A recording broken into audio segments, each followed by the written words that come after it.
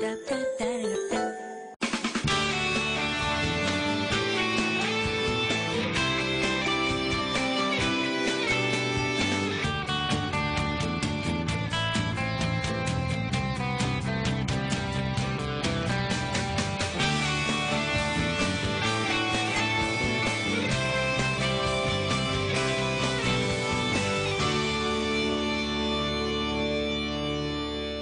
Dilara Koçaklı İyi Yaşam'dan herkese merhaba. Elimde sanki bir çikolata, bir şekerleme tabağı varmış gibi duruyor. Çünkü hepsi rengarenk ve çok canlı. Ama bunlar düğme. Kendileri küçük, işlevleri büyük ve dilleri var. Hangi malzemelerden yapılıyor? Hangi düğme bize ne ifade ediyor? Acaba kişilik özelliğini yansıtıyor olabilir mi? İşte tüm bu detayları şimdi bize Mustafa Oktay anlatıyor.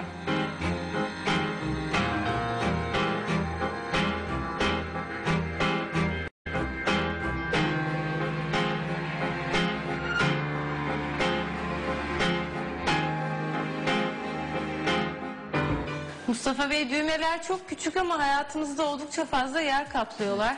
Ben böyle bir düşünüyorum, size bakıyorum, kendime bakıyorum. Sizde benden daha fazla düğme var. Öyle midir erkekler daha mı düğmeli giyinirler? Yani erkek kıyafetlerinde düğme kaçınılmaz oluyor. Özellikle ceket, takım elbise veya pantolonlarda muhakkak e, düğme kullanılıyor ve özellikle en güzel, en göz alıcı düğmeler erkek kıyafetlerinde Evet. kullanılıyor. Şöyle size şöyle bir e, bakınca kaç tane düğme vardır üzerinizde şu anda? Şu anda tahmin ediyorum onun üzerinde düğme var ve bunlar çok özel düğmeler. Zaten 4 4 iki kolunuzda 8 var. Evet. İki de ceketin ön düğmesi 10. Gömleğiniz de var. Evet, bayağı maşallah. Bayağı var. Evet. Taşıyoruz.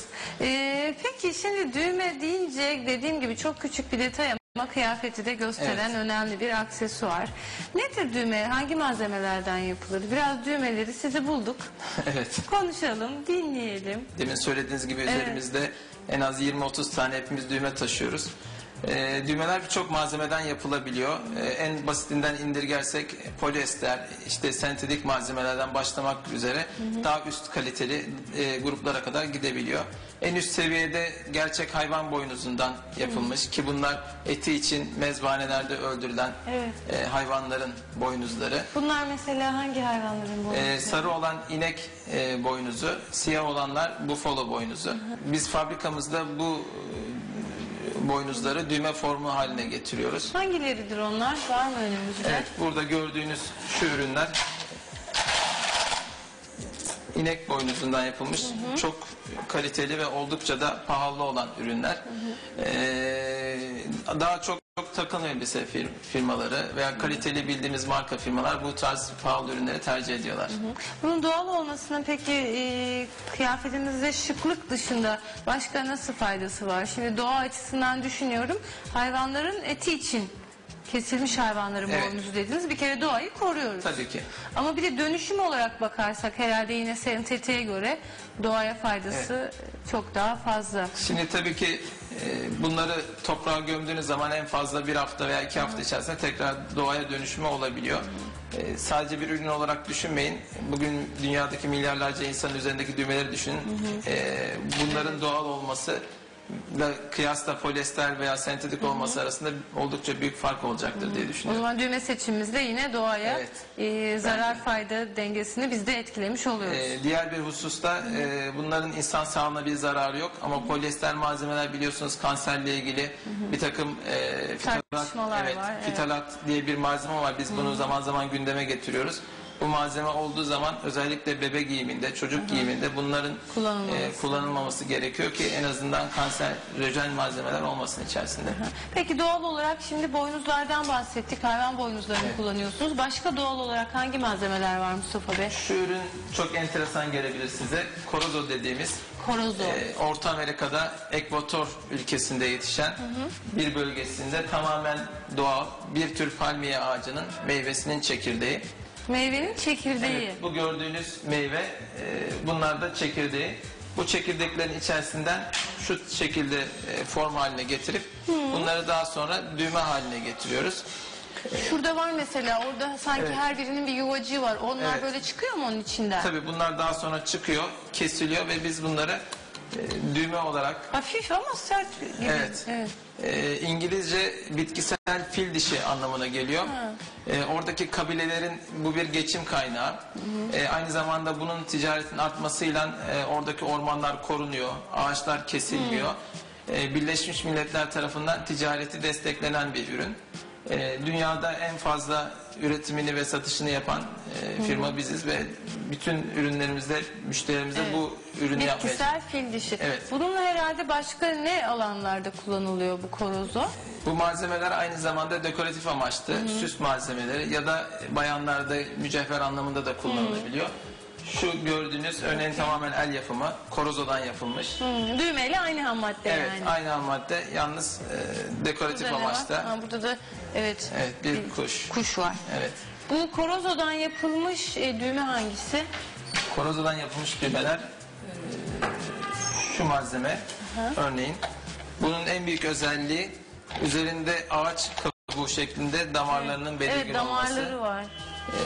ve istediğiniz renge tonin ton olarak yapılabiliyor olması. Şimdi düğmelerin bir anlamı var diye demin görüş e, konuşurken e, bu düğmeler daha kaliteli, daha klasik ve detaylara dikkat eden insanlar tarafından tercih ediliyor. Polyester düğmelerine nazaran. Peki biz acaba bir e, işte hırkayı beğendiğimizde düğmeleri neyi bize önce çekiyor? Düğmeleri çekiyor olabilir mi bu anlamda? Düğmeler kaliteyi belirleyen önemli bir unsur o zaman. Aslında onu belki o anda fark etmiyorsunuz. Bir bütün olarak bakıyorsunuz ama o düğmenin kaliteli bir düğmenin yerine çok basit bir düğme koyduğunuzda inanın ki ürünün bütün görüntüsü çok değişecektir. Ee, benim kendi kişisel e, izlenimim düğmelere dikkat eden insanlar daha detaycı, kendisine dikkat eden, çevresine dikkat eden insanlar. Ama düğmeye dikkat etmeyip her gördüğü ürünü alan insanlar bence biraz daha hem kendisine çok dikkat etmeyip çok detaylara girmeyen insanlar. O bakımdan e, ben Düğmelerin bir dili var diyorsunuz. Evet. Anlatıyor insanın kişiliğini de. ben kendim e, görüşmelerimde bir kişiye bakarken ilk başta düğmelere dikkat ediyorum ki E tabii o düğmelerden sebebiyle.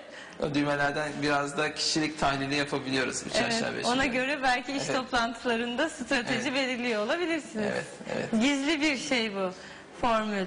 Şimdi bir ceketin üzerinde çok ucuz kalite bir polyester düğme olan bir kişi eminim ki çok detaya veya kendi kişi Hmm. Ama çok da anlamayabiliyoruz çoğu zaman. Yani bakıyoruz böyle güzel görünüyor. Mesela benim önümde şimdi bir sürü düğmeler var. Kıyafetle belki bir araya geldiğinde onu anlayabilirim. Ama şöyle de bir şey var. Çok iyi ürün üreten bir firma, bir tekstil firması herhalde ki iyi düğme kullanır diye biz onu düşünüyor olabiliriz belki. siz tabii markanıza orada güvenmek Evet, zorundasınız. markaya güvenmek zorundayız. Ee, bu markaya güvenerek hareket edeceksiniz ama bu tabi tüketiciden de biraz bilinçlenirse örneğin Avrupa'daki tüketiciler bir ürüne baktıkları zaman onun düğmesinin ne olduğunu dahi biliyorlar. Ben buna çok e, zaman şahit oldum. Ben de şimdi anlayacağım artık zaten. Evet. Dokununca aşağı yukarı bileceğiz. Bunlar deri mi? Deriden de düğme yapıyoruz. Onlar da tamamen doğal, Doğal düğmeler. deri. Burada el kumaşlar var. iplikten el yapımı olanlar var. Hatta e, enteresan gelebilir hayvan kemiklerinden yapılmış düğmeler. Kemik. Evet, bunlar da kemik düğmeler. Yine aynı şekilde eti için öldürülen hayvanlar, kesilen hayvanların kemiklerinden. Şurada pırıl pırıllar var. Onlar sedefli gibi duruyor. Bunlar da deniz kabukları.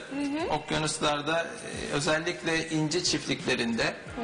Ha, e, kültür incileri. evet. Bunlar için herhalde ki Yok. e, toplamıyoruz Yok, hayır. onları. Evet. Çünkü burada en önemli şey biz bunları üretirken çevreye zarar vermememiz gerekiyor. Ee, aynen bu korozoda olduğu gibi, boynuzda olduğu gibi, sedefte olduğu gibi e, üretim fazlası olan ürünleri düğme haline çevirerek o şekilde düğmede Kullanabiliyoruz. kullanıyoruz. Orada yine var büyük daha büyük düğmeler. Onlar da yine boynuz herhalde Evet, değil mi? bunlar da yine Hı hı. boynuz Boynuzlarda. düğmeler. Bunlar hayvan boynuzunun en uç kısımları. Peki benim önümde böyle setler var. Böyle bu düğmeler set halinde mi verilir? Yani e, şey midir e, takım elbise için? Evet. Set midir? Müşterilerimiz set olarak istiyorlar bizden. Belli boyları var, standart boyları. Bu boylara göre bize adetleri bildiriyorlar. Bu şekilde fabrikada üretim Nasıl yapıyoruz. olur? Bunlar kol için işte bu pantolonun fermuar Evet, üstü evet. falan gibi mi? Büyük boy düğmeler, 32 boy dediğimiz düğmeler ceketin ön kısmında şurada gördüğünüz gibi Evet. kullanılıyor. 24 boy düğmeler, e, daha ufak boy düğmeler kolda. Bu artık bir dünya standardı Standart. olmuş. Peki dünyada baktığımızda nasıl durum? Düğmecilikle ilgili biz iyi bir yerde miyiz Türkiye'de? Şimdi Türkiye bu alanda tekstil sektörünün en ileri firmaların en ileri ülkelerinden biri olduğu için e, yan sanayinde de oldukça iyiyiz. En önde olan ülke İtalya bu konuda biliyorsunuz. Tekstile bağlı, Evet, modaya bağlı. evet. Biz de onu yakından takip ediyoruz. Şu anda bizim sektörümüzde oldukça iyi konumda. İhracat anlamında e, da iyiyiz. Evet. Çok teşekkür ederiz Mustafa Bey. Düğmelere hiç bu kadar yakından bakmamıştık. Sayenizde aralarındaki farkları öğrenmiş olduk. Çok teşekkür ederiz. Ben de çok teşekkür ediyorum.